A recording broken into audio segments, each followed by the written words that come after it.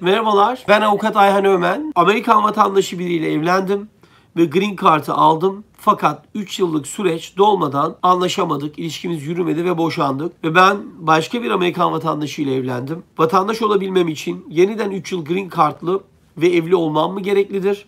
Yoksa önceki evliliğimden ve şimdiki evliliğimden aldığım green card süresi 3 yılı doldurmuşsa vatandaşlık için başvuruda bulunabilir miyim diye bu takipçimiz bize soruyor. Evet, Amerikan vatandaşı ile evlilik üzerinden kişiler vatandaşlığa giderken süre noktasında normalde 5 yıl beklenmesi gereken süreyi 3 yılda bekleyip e, vatandaşlığa geçme hakkına sahip oluyorlar.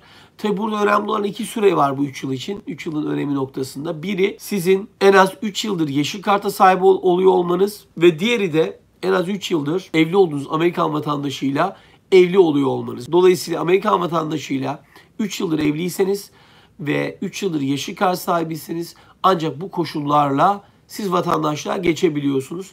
Dolayısıyla ilk eşinizden yeşil kartı elde ettiğiniz için bu yeşil kartı 3 yılınız geçtiği için fakat evliliğiniz yürümediği için sizin tekrar Amerikan vatandaşlığı olan istisnadan faydalanmanız için maalesef yeni eşinizde de 3 yıl evli kalıyor olmanız lazım.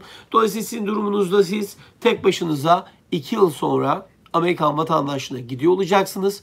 İlk eşinizle boşandığınızdan dolayı deyip takipçimizin sorusunu cevaplamış olalım.